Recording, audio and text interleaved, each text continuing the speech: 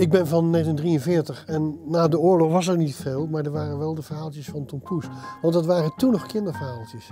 dat, dat was dus een, een stripje met drie tekeningetjes en daaronder een tekst geschreven. En in de jaren 50 dan wordt het echt te moeilijk voor kinderen.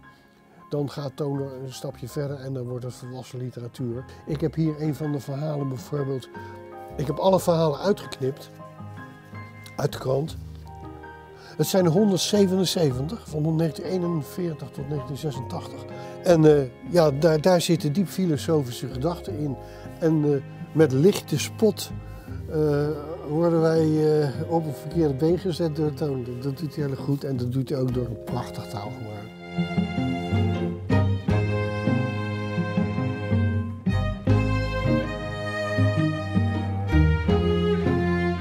Dit zijn zes tekeningen van Martin Toner uit 1942.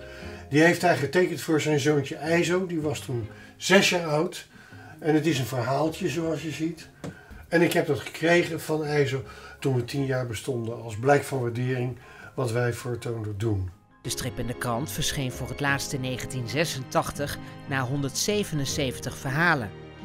Pim verzamelde in al die jaren veel van de striphelden. Heel veel. Ik had een aardige verzameling, niet zoveel als nu hoor.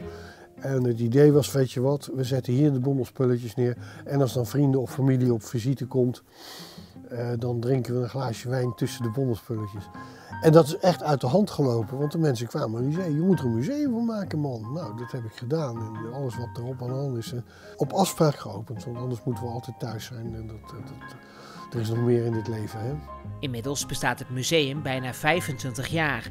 Maar de collectie zal op termijn verhuizen naar het nieuwe attractiepark Bommelwereld in Groenlo. Ik ben bijna 80 en dan moet je met de toekomst uh, rekening houden. En hoe lang kan ik dit nog doen? En Edwin Bomers, uh, eigenaar, leider van uh, het park Marveld, is op mijn pad gekomen.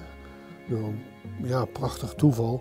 En ja, dat klikte tussen ons. En ik vond het leuke van hem dat hij zei: Ik wil een dagrecreatiepark doen in Groenlo, naast het park dat ik al heb. Maar ik wil daar een culturele boodschap in leggen. Dus niet alleen maar een pretpark, een themapark worden waarin iets van de Nederlandse cultuur een plek krijgt.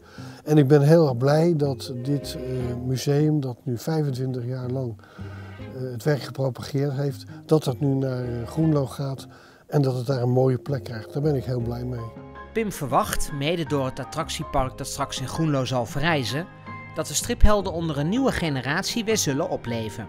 En ik denk ook dat er dan toch weer nieuwe verhalen geschreven mogen worden.